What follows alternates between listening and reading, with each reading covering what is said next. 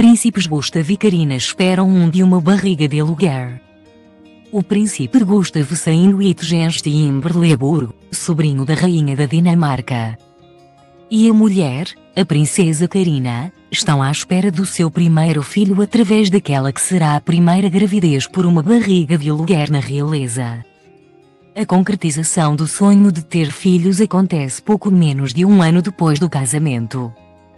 Os príncipe e escritora e antiga modelo americana têm 54 anos e estão juntos há duas décadas.